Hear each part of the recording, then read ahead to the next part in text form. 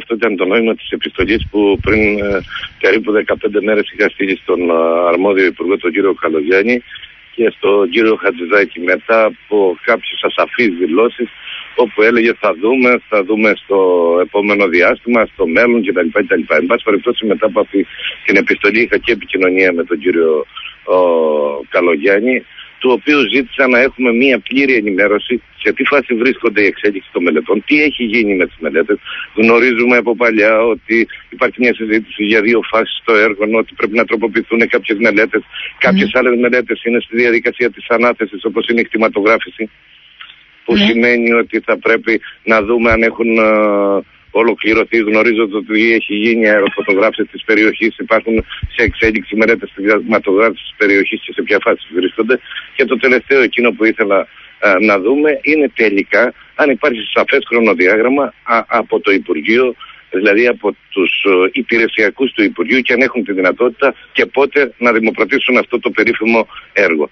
Θεωρώ ότι θα πρέπει και είναι χρήσιμη η απόψινή συνάντηση γιατί θα έχουμε μια πλήρη τεχνική ε, και τεχνοκρατική ενημέρωση από τους αρμόδιους που χειρίζονται τα θέματα και τις μελέτες όλα αυτά τα χρόνια του αεροδρομίου. Και μετά με τη σειρά μας να καταλήξουμε σε κάποιες προτεραιότητες και να πάρουμε τις πολιτικές μας αποφάσεις στα Δημοτικό Συμβούλιο. σε, κάθε περίπτωση, σε κάθε περίπτωση όμως, κυρία Γιάννη, παραμένει η αγωνία της περιοχής και το σαφές μήνυμά μας ότι αυτό το πράγμα δεν μπορεί να πάει μετά το 2013. Σαφώς όμως αυτό δεν απευθύνεται στον υπηρεσιακό παράγοντα, ο οποίος ε, κάνει τη δουλειά του και να ενημερώνει, θα πάει σε πολιτικό επίπεδο μετά. Τα ερωτήματα είναι συγκεκριμένα.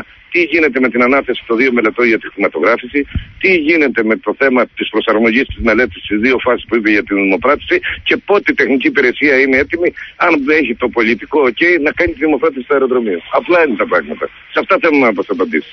Μάλιστα.